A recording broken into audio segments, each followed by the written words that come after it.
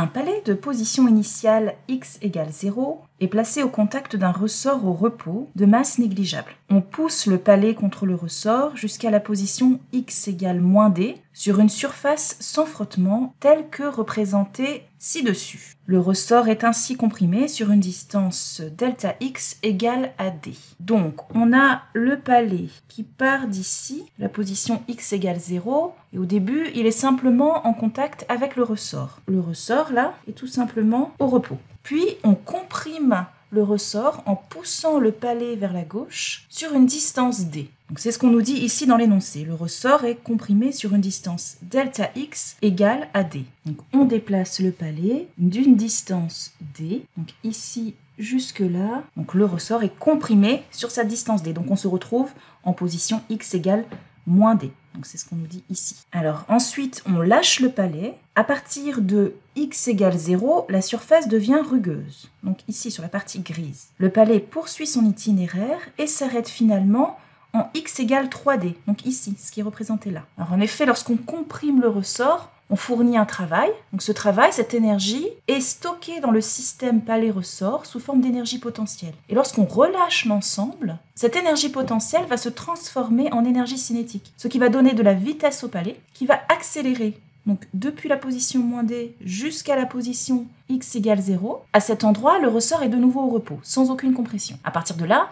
il n'exerce donc plus de poussée sur le palais. Le palais contient alors une certaine quantité d'énergie cinétique. Alors s'il n'y avait pas de frottement sur toute cette partie grise, il continuerait d'avancer sans jamais s'arrêter. Alors autant ici on suppose que la résistance de l'air est négligeable, en revanche il y a bien un frottement de surface. Le palais va donc ralentir de manière constante. En effet, une force de frottement s'exerce sur le palais, sur toute cette partie grise. C'est bien ce qu'on lit ici dans l'énoncé, le coefficient de frottement cinétique entre le palais et la surface rugueuse est mu, donc une constante. On a une force de frottement constante sur toute cette partie. Alors on va lire la première question, la question A. Dans le repère ci-dessous, représentez les deux grandeurs suivantes en fonction de la position du palais entre x égale moins d et x égale 3d. Il n'est pas nécessaire de calculer les valeurs indiquées sur l'axe des ordonnées, mais les deux grandeurs doivent être représentées selon la même échelle. Attention à ne pas oublier la légende. Donc les deux valeurs qu'on nous demande de représenter dans ce repère ici, il y a l'énergie cinétique du palais, EC, et l'énergie potentielle du système palais-ressort, EP. Alors, on va regarder d'abord l'énergie potentielle. Dans la première partie du mouvement, entre, si on reprend ici le schéma, entre moins d et 0, on comprime le ressort. On transfère donc de l'énergie potentielle élastique au système palais-ressort. Comment est-ce qu'on définit l'énergie potentielle élastique d'un ressort comprimé. Alors, c'est un rappel que je vais te faire. Si ça te dit rien du tout, n'hésite pas à aller voir euh, les vidéos euh, qui existent déjà sur Khan Academy au sujet des ressorts, tu retrouveras cette formule.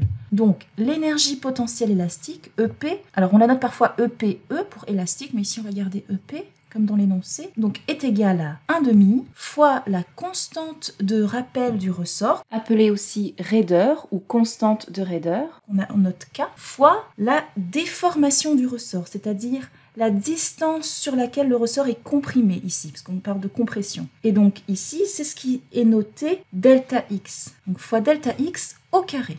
Et en fait, donc cette énergie potentielle qui est stockée dans le ressort, c'est en fait le travail qui a été fourni pour comprimer le ressort jusqu'à cette distance-là. Et donc dans ce cas, exactement, l'énergie potentielle, elle est égale à 1 demi fois K, et donc delta X, on a dit que c'était moins D, parce qu'on a comprimé le ressort sur une distance D.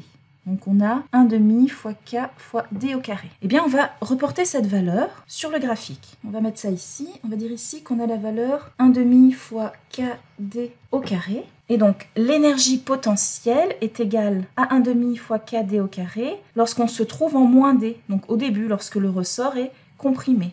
Donc ici. Et lorsqu'on est à x égale 0, il n'y a pas d'énergie potentielle dans le système car le ressort est au repos, il n'est plus comprimé. Donc en x égale 0, l'énergie potentielle sera égale à 0 également. Alors la question est de savoir comment est-ce que varie l'énergie potentielle élastique entre ces deux points. Alors ce qu'on peut faire, c'est placer une valeur intermédiaire. Si on se place ici à la moitié du chemin, moins d sur 2, eh bien, donc je ramène ici la formule, on avait dit que l'énergie potentielle, c'est égal à 1 demi fois k fois delta x au carré.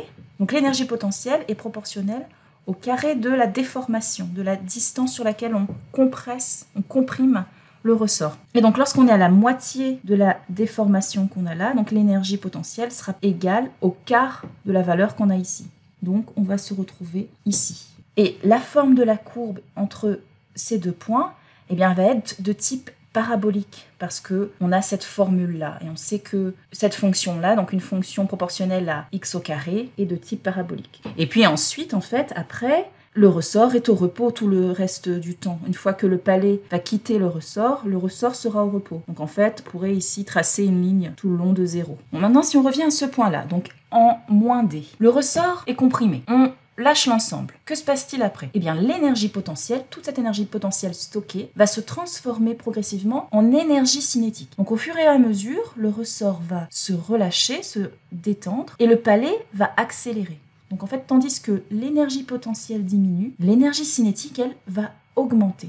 Donc, en début, en x égale moins d, le palais est au repos, il ne bouge pas. Donc, il a une vitesse nulle, son énergie cinétique est donc nulle. On a donc ce point-là. Et alors, comment on va l'énergie cinétique va augmenter? Alors, on sait que la somme de l'énergie cinétique et de l'énergie potentielle est constante, car l'énergie se conserve au sein du système sur cette portion entre moins d et 0, car il n'y a pas de frottement. Donc ici, on part de 0, de 0 et l'énergie cinétique va augmenter au fur et à mesure, et on va avoir une courbe en fait symétrique à la courbe de l'énergie potentielle, de sorte que tout le long, si on fait la somme de, des deux courbes, eh bien, on a un demi de kd carré. Donc ici, on a bien 0 plus un demi de kd carré. Ici, on va avoir deux fois la moitié. On continue comme ça, en fait.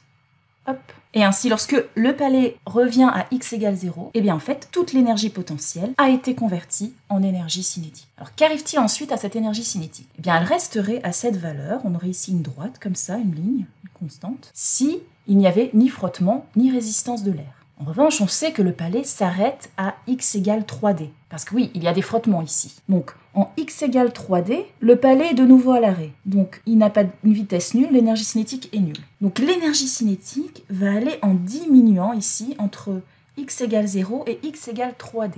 Alors, comme tu le sais, rien ne se perd, rien ne se crée, tout se transforme. Alors en quoi est-ce qu'elle se transforme cette énergie cinétique? Parce qu'on ne parle plus, il n'y a plus d'énergie potentielle ici. Eh bien, elle va se transformer en chaleur due au frottement. Et donc quelle courbe a-t-on ici entre ce point 1,5 kd carré et 0 Eh bien, c'est assez facile à deviner.